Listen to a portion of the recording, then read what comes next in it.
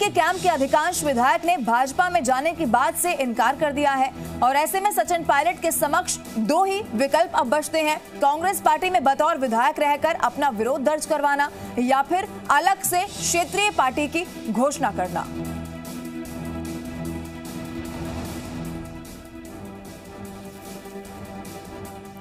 देखिए, सियासी उथल पुथल के बीच आज ये खबर सामने है कि आखिरकार इतने समय से सचिन पायलट पर सबकी नज़रें बनी हुई थी। चुप्पी सचिन पायलट अपनी नहीं तोड़ रहे थे। अब ये खबर सामने है कि आज 10 बजे सचिन पायलट प्रेस कॉन्फ्रेंस करेंगे। और ये माना जा रहा है कि आगे की रणनीति उनकी क्या कुछ रहने वाली है, चूँकि अब पार्टी ने उन्हें पीसीसी चीफ और उप मुख्यमंत्री पद से हटा दिया है।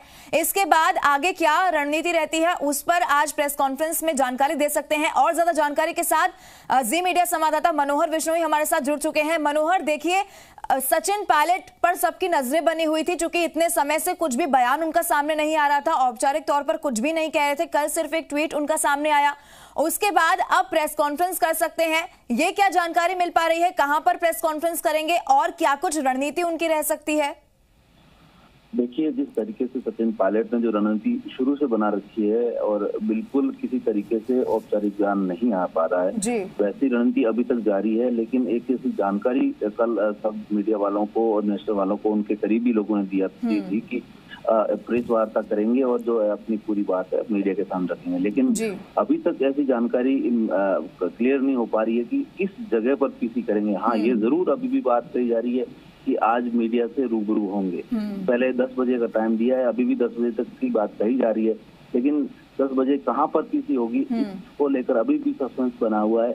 लेकिन ये जानकारी मिल रही है सूत्रों के अनुसार कि सचिन पायलट अभी जिस अगली रणनीति के लिए काम कर रहे हैं वो रणनीति अभी फाइनल नहीं हुई है। इस वजह से ये तमाम चीज़ें देरी हो रही है। और बताया जा रहा है कि जैसे ही ये फाइनल हो जाएगी उनकी डील या फिर जिससे जो रणनीति बननी है वो तय हो जाएगी उसके बाद जो है सचिन पायलट मीडिया से रूबरू होंगे क्योंकि हाँ। सचिन पायलट शुरू से ही मौन मौन है और अनौपचारिक रूप से औपचारिक रूप से किसी तरीके से वो बाहर नहीं आ रहे लेकिन मैसेज ज़रूर भिजवा रहे थे लेकिन एक ट्वीट के बाद उनका कल का कोई मैसेज नहीं है अभी तक हम्म। और तमाम देश भर की मीडिया और जो पॉलिटिशियन जानना चाहते हैं कि सचिन पायलट हम्म। पूरे इस जो बगावती फेवर है उसके हम्म। पीछे खास कारण क्या रहा वो जानना चाहते हैं लेकिन अभी तक उनका टाइम तय जगह तय नहीं हुई है कि जी। करेंगे।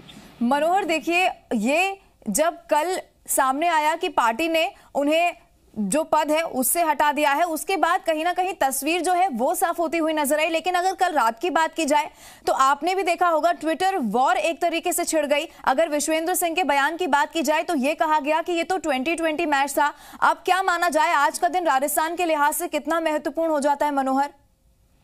देखिए ट्विटर वॉर तो शुरू से ही जारी था जिस तरीके से बगावत किए तमाम विधायकों ने और हम्म। उनके सचिन पायलट ने। उसके बाद ये ट्विटर वॉर ही चालू था बाकी हम्म। कोई सामने नहीं आ रहे थे। और एक बार फिर वह वीडियो वायरल किया गया। उससे थोड़ा सा साफ़ हुआ कि कितने लोग और कहाँ पर हैं। लेकिन ट्विटर वॉर जो है सोशल मीडिया के माध्यम से वर्चुअल जो जिस तरीके से बात कही जा रही है उसमें और रूबरू आकर कहने में बहुत फ़र्क होता है और हम्म। देखने वाली बात यह रहेगी कि रूबरू जब मीडिया में आएँगे तो हम्म। क्या बात कहेंगे और किस तरीके से कहेंगे और क्या बातें होंगी वो तमाम देश भर का मीडिया और जो पॉलिटिशियन जानना चाहते हैं और ये सबको इंतज़ार है कि किस जगह वो पीसी करके ये चीज़ें बताएँगे जी जी मनोहर, बहुत बहुत शुक्रिया आपका तमाम जानकारी देने के लिए और यही उम्मीद की जा रही है कि सचिन पायलट अब प्रेस कॉन्फ्रेंस कर कर आगे की रणनीति को जनता के समक्ष पूरी तरीके से क्लियर कर दे।